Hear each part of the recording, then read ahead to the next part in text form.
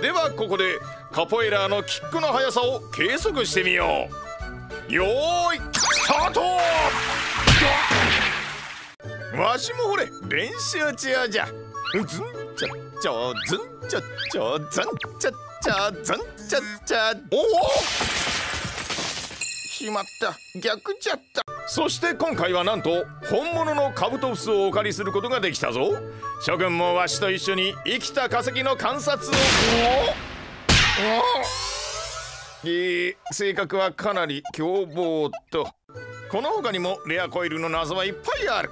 これからも研究に協力よろしくな。